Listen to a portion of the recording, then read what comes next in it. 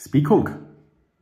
Äh, liebe Imkerfreunde, meine sehr geehrten Damen und Herren.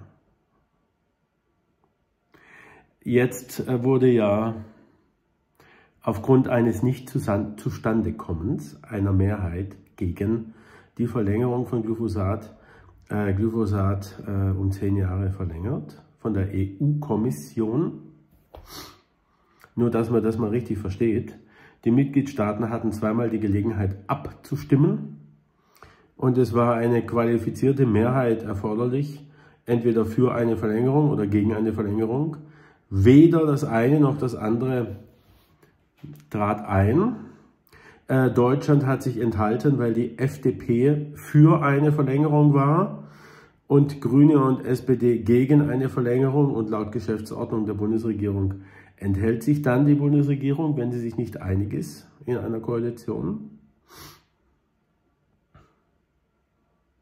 Auch bei einer Ablehnung äh, wäre die Mehrheit gegen eine Verlängerung nicht zustande gekommen. Fragt sich, wie sehr unser Landwirtschaftsminister für eine Mehrheit gegen eine Verlängerung gekämpft hat. Das ist unbekannt. Zweitens, wurde jetzt von der konservativen Mehrheit im EU-Parlament SUR abgelehnt. SUR ist eine Pestizidreduktionsstrategie, die im Rahmen von Farm to Fork jetzt endlich zur Abstimmung kam. Und jetzt wird wieder nicht reduziert.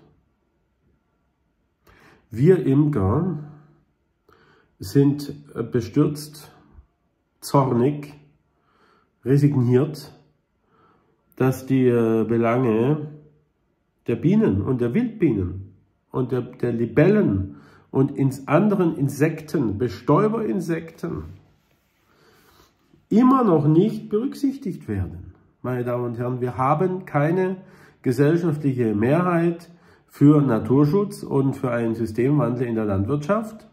Äh, und ich frage mich, wie lange das geht solange bis wir gar keine Insekten mehr haben, solange bis wir gar keine Bienen mehr haben, solange bis äh, die äh, Zahl der, der, Bienen, die in landwirtschaftlichen Kulturflächen sind, äh, so weit zurückgeht, dass wir immer mehr Ableger machen müssen, äh, um den Bestand zu erhalten, was ja äh, bei, im Hinblick auf die Zahl der Bienenvölker irreführend ist. Äh, wir haben also nicht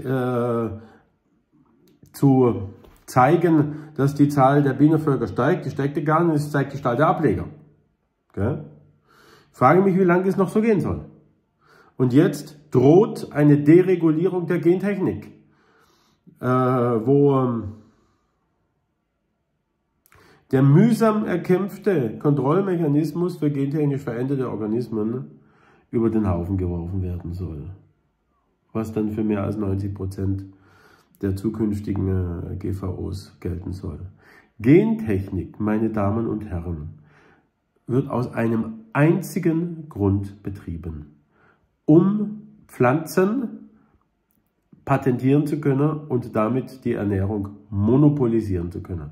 Das ist der einzige Grund. Alle anderen Aussagen sind Ausreden, Lügen, äh, unwahre Feststellungen. Es geht bei der Gentechnik nicht um die Rettung der Welternährung, nicht um die ähm, Züchtung dürreresistenter Pflanzen und ähnliches. Die haben wir alle schon im konventionellen äh, Landbau, also in der konventionellen Züchtung. Nein, es geht einzig und allein um die Patentierbarkeit, um äh, die Bindung, die zukünftige Bindung der Landwirte an Saatgut, für das sie jedes Jahr neue Lizenzgebühren zahlen müssen und um eine Monopolisierung der Ernährung.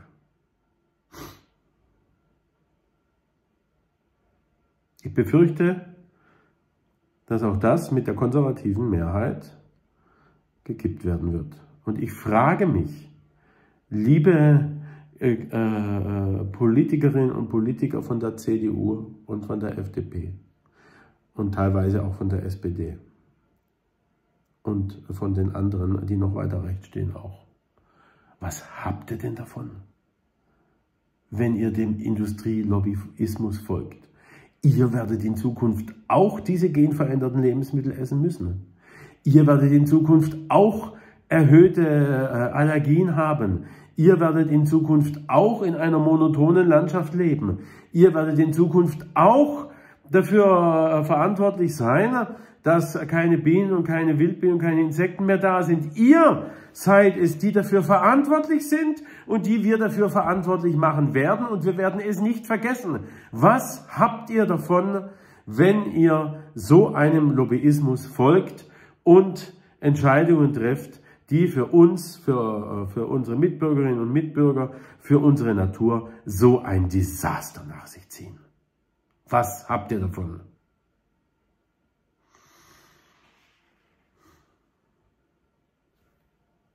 fragt ein Imker, der sich um seine Bienen sorgt, in einer gewissen Resignation und Verzweiflung auch. Denn offensichtlich nützen alle wissenschaftlichen Studien nichts, solange wir keine Mehrheit für eine Landwirtschaft haben, die endlich weniger Ackergifte einsetzt. Gespickt.